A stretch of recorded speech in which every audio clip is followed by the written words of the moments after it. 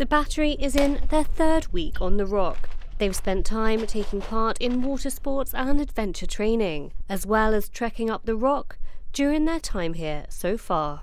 I think I think from our perspective, um, from a, from from the battery side, being one of the five um, Gibraltar batteries in the Royal Artillery, um, it brings another dynamic to the training as well to be able to get it back into the tunnels um, that are sort of forebearers forebearers fought um, you know back in the Great Siege and that sort of thing. There's a really nice connection between between that. So it does add, add a different dynamic.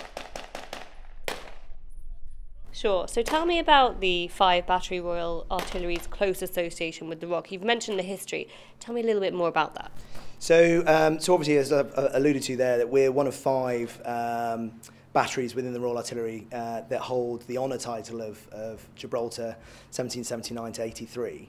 Um, and they were you know, known as companies at the time, uh, based on the rock, fought here during the Great Siege.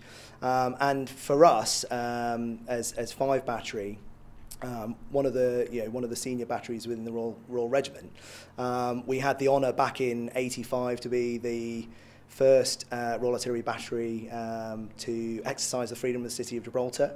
Um, and then, you know, the best part of uh, four decades later to be able to do it again as the second time, uh, you know, is, is, is really quite special. So um, the battery, it really marks, um, marks a really nice time or a really nice event within their, their history an important moment for everyone involved yeah, there. Yeah, exactly. Yeah, everyone from from young gunner up to um, the uh, the three star general, the master gunner St James's Park, who was there on the on the day, stood next to Her Worship the the, the Mayor, um, which is uh, which is yeah really special.